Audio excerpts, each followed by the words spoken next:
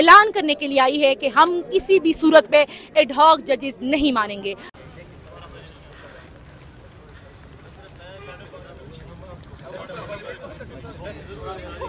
लेकिन अगर काजी फाइजीजा साहब अपने टेन्योर के आखिरी हफ़्ते में एडहॉक जजेस लाकर अपनी जो उनकी आ, नंबर गेम ख़त्म हो गई है और उनकी जो वैल्यू ख़त्म हो गई है, उसको रिटेन कराना चाहते हैं तो ये हम किसी भी सूरत नहीं मानेंगे। ये प्रॉपर बाकायदा प्लान तरीके से लेकर आना चाहते हैं ताकि काजी फाइजी साहब अपनी मेजोरिटी लाए, वो अपनी निजी महफिलों में कहते थे कि मैं एडहॉक जजेस ला रहा हूँ और फिर मेरी एक्सटेंशन होगी और तीन साल तक मैं बराजमान रहूँगा। तो ऐसा नहीं हो सकता जी। और ये अपनी बादशाहत बचाने के दर पे हुए हैं। ये चाहते हैं कि पाकिस्तान की कौम चाहे भूखी नंगी मरे, लेकिन इनकी बादशाहत कायम रहे। ऐसा तो नहीं होगा। हम ये seventy six years of history की जो बादशाहत है, ये अपनी आखिरी साँसें ले रही है। इन पाकिस्तान में रूल ऑफ़ लॉ आएगा और जो सुप्रीम कोर्ट पे काला साया छाया हुआ है पिछले एक साल से इन ताला एक आध महीने में ये ख़त्म हो जाएगा। जो जंग ये ऑपरेशन की बात हो रही है तो इन्होंने जो बात की थी, अज़म इसकाम की, इन्होंने ऑपरेशन का लफ्ज़ यूज़ नहीं किया था। और जब ख्वाजा आसिफ साहब धीमे धीमे लहजों में ऑपरेशन की बातें करने लगी तो हमने भरपूर मुखालफत की है।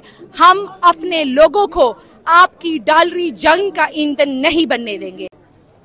सुप्रीम कोर्ट से आठ पाँच का फैसला आया, पाकिस्तान तरीके इंसाफ को महसूस नशस्तें देने का कहा, लेकिन अब एतहाद जजिज़ को तैनात करने की बात हो रही है। उसके खिलाफ आज आप देख सकते हैं, पाकिस्तान तरीके इंसाफ के वकला एक बड़ी तादाद में आज जुम्मे वाले दिन निकले हैं। और आज ये पैगाम दे रहे हैं कि हमें एडाक जजिज़ किसी सूरत मंजूर नहीं है। आठ पाँच से फैसला वही फैसला है, वो इंसाफ में मबनी फैसला है। तरीके इंसाफ को महसूस नशस्तें दी जाएँ, किसी को एक्सटेंशन नहीं मिलनी चाहिए। ये तहरीक इंसाफ के वकला का रद्दमल है। इसके अलावा आपको पता है कि जो मुल्की हालात हैं, एक तरफ़ वनू के हालात कशीदा हैं दूसरी तरफ़ अगर आप देखें यहाँ वकला निकले हैं तीसरी तरफ़ देखें अवाम एक आम आवाम बाहर निकली हुई है एहतजाज कर रही है। ये मनाजर हैं इस टाइम आप देख सकते हैं एक बड़ी तादाद में यहाँ वकला पहुँचे हैं और यहाँ नारेबाजी की जा रही है।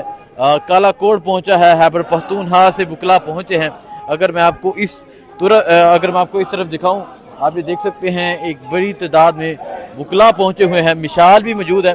आ, मिशाल जो सब इनसे भी बात करते हैं इनसे पूछते हैं। मिशाल क्या कहना चाहेंगी? आज क्या वजह बाहर निकलने की? और दूसरी तरफ़ आप हैबर पख्तूनहा में मशीर भी हैं। हैबर पख्तूनहा में वज़ीर भी हैं। हैबर पख्तूनहा के हालात भी बहुत ख़राब है। हालात कशीद हैं बन्नू में। यहाँ एडहाक जजिस के खिलाफ वकील भी निकले तो क्या कहेंगे आप? देखिए जी मेरे ख्याल से पाकिस्तान के मुख्तर हल्के पाकिस्तान को खाना जंगी की तरफ़ लेकर जाना चाह रहे हैं।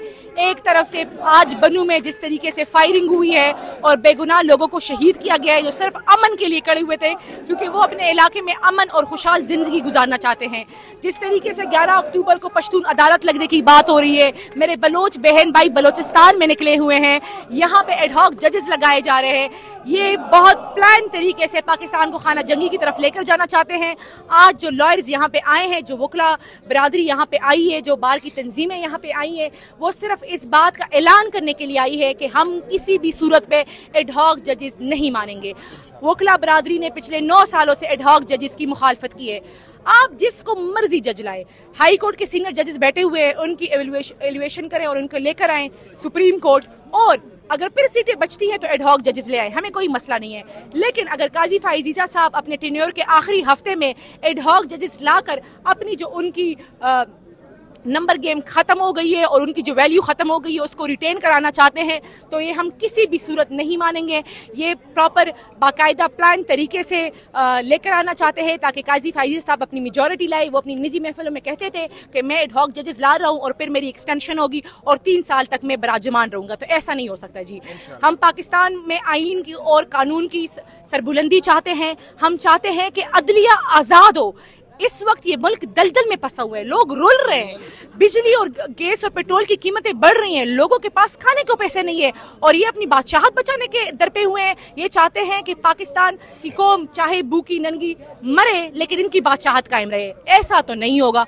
हम ये seventy six years of history की जो है बादशाहत है, ये अपनी आखिरी साँसें ले रही है। इन पाकिस्तान में रूल ऑफ़ लॉ आएगा और जो सुप्रीम कोर्ट पे काला साया छाया हुआ है पिछले एक साल से इन ताला एक आध महीने में ये ख़त्म हो जाएगा और फिर सुप्रीम कोर्ट इस मुल्क में रूल ऑफ़ लॉ और आइन की सरबुलंदी लेकर आएगा। इमरान खान का क्या मौकफ है इस हवाले से? जो एक ऑपरेशन की बात की गई और इसके अलावा ये जो तमाम मामले हैं ढाक जजेस लाने का मामला इसके अलावा जो मुल्की हालात है, इमरान खान क्या कहते हैं? देखिए जी, खान साहब ने दो वाजे पैगाम दिए। खान साहब ने एक, जस्टिस काजी फाइजिया साहब अदम अतमाद का इजहार किया है। फुली बाइकआउट का इजहार किया है। उन्होंने आमिर फारूक साहब पे जो है ना, अदम अतमाद का इजहार किया है। हमारी पार्टी रेफरेंस ला रही है आमिर फारूक साहब पे और जस्टिस काजी फाइजीजा साहब पे भी। और जो जो जंग ये ऑपरेशन की बात हो रही है तो इन्होंने जो बात की थी अज़म इसकाम की, इन्होंने ऑपरेशन का लफ्ज़ यूज़ नहीं किया था। और जब ख्वाजा आसिफ साहब धीमे धीमे लहजों में ऑपरेशन की बातें करने लगी तो हमने भरपूर मुखालफत की है। हम अपने लोगों को आपकी डालरी जंग का ईंधन नहीं बनने देंगे। हम अमन पसंद लोग हैं, हम अमन चाहते हैं, हम अमन लेकर आएँगे। अगर आप इस मुल्क में अमन लेकर आना चाहते हैं तो अमन का सफ़ेद परचम लहराए, इंसाफ का सफ़ेद परचम लहराए तो इस मुल्क में खुद ब खुद इसकाम आ जाएगा। किसी भी मुल्क में इंसाफ के बगैर इसकाम नहीं आता। ठीक है, इंसाफ के बगैर इसकाम नहीं आता। आप ये देख सकते हैं एक बड़ी तादाद में पाकिस्तान तरीके इंसाफ के वकला पहुँचे हैं, मुल्क भर से यहाँ वकला पहुँचे हैं। जो इडहाक जजिस का मामला है, जो जजिस लाए जा रहे हैं, उसकी मुखालफत की जा रही है और कहा यह जा रहा है कि इडहाक जजिस किसी भी सूरत कबूल नहीं है। ये मनाजर हैं इस टाइम इस्लामाबाद के। इस्लामाबाद में मुल्क भर से वकला पहुँचे हुए हैं और यहाँ प्रोटेस्ट कर रहे हैं। इनका कहना है कि जो महसूस नशस्तें हैं, वो तरीक इंसाफ को मिल चुकी हैं। तरीक इंसाफ को मिलनी चाहिए। आप जो इडाक जजिस ला रहे हैं महसूस नशस्तें छीनने के लिए ला रहे हैं, क्योंकि आठ पाँच से फैसला आया। इसके अलावा आप अपनी एक्सटेंशन के लिए ला रहे हैं। सो आज तहरीक इंसाफ के वकला एक बड़ी तादाद में बाहर निकले हैं।